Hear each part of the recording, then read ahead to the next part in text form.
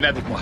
Qu'est-ce qu'on fait maintenant? J'ai quelque chose à vous montrer. J'ai beaucoup entendu parler de vous. Vos états de service sont exemplaires. Qui est-ce qui vous a dit ça? Des personnes au placé. Des personnes qui comprennent ce que vous faites, vous et votre équipe. Oh, Êtes-vous claustrophobe?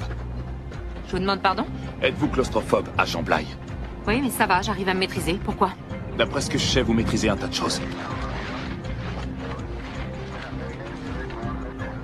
Le portable. On fait quoi là? C'est le tunnel d'évacuation de Tango 1. Il s'est effondré à la suite de l'explosion. Ils ont tout déblayé et maintenant ils le renforcent. En mettant un tuyau dans le tuyau, ce qui, comme vous le voyez, a pour effet de réduire un peu le diamètre du tunnel. Combien il mesure? 45 cm. Vous me demandez d'y aller? Ouais. Vous avez le gabarit qui convient. Et vous avez une excellente formation tactique et une très grande expérience. Donc vous faites sauter la trappe, je descends. Et vous neutralisez au moins un des deux officiers afin d'empêcher le tir de missile.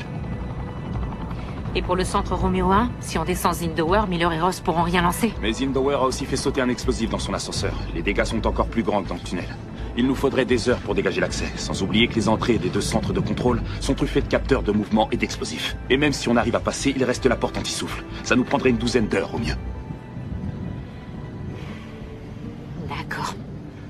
Agent Bly, vous êtes sûr? Vous savez les risques que vous prenez? Oui, je sais. Très bien. Finissez de renforcer le tunnel aussi vite que possible. C'est compris Bien, monsieur. Allons-y.